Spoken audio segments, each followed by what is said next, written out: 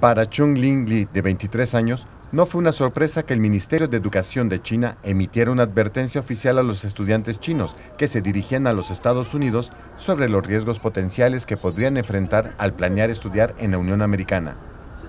La alerta se debe a un proceso extendido de revisión, un periodo de validez más corto y un aumento en la tasa de rechazos, lo que afecta a los planes de estudio en los Estados Unidos.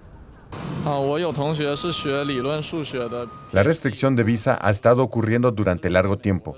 Muchos de mis compañeros de clase y amigos se han enfrentado a tiempos de revisión prolongados. Es una especie de indefensión, agotadora y larga espera. Según las estadísticas del Consejo de Becas de China, entre las 10.313 personas apoyadas por becas por el gobierno chino en 2018 para estudiar en los Estados Unidos, a 3.2% les cancelaron sus viajes debido a problemas de visa. En los primeros tres meses de 2019, esta proporción aumentó 13.5%. El Departamento de Estado de los Estados Unidos acortó la duración de su visa de 5 años a 1 en 2018. Obtuve una visa de cinco años. No había tensión entonces. Ahora muchos de mis compañeros se han visto afectados. Ambos estudiantes refutaron los argumentos de espionaje por parte de la administración estadounidense para restringir las visas, lo que calificaron de infundadas. Creo que este tipo de acusación no tiene fundamento, a menos que se presente evidencia para respaldar realmente sus afirmaciones.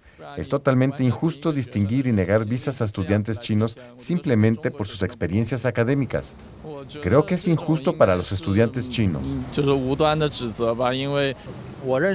Estoy seguro de que todas las personas que conozco no son espías. Todos están aquí para estudiar mucho. Algunos se quedarían y otros regresarán a casa. No creo que mis compañeros sean espías. Según el informe de Puertas Abiertas 2018 del Instituto de Educación Internacional con sede en los Estados Unidos, más de 363.300 estudiantes chinos se registraron en colegios y universidades de los Estados Unidos para el año escolar 2017-2018, lo que representa 33.2% de los estudiantes internacionales. China ocupó la primera posición entre los lugares de origen de estudiantes internacionales en los Estados Unidos. Con información de la oficina en Nueva York, Estados Unidos, Noticias Xinhua.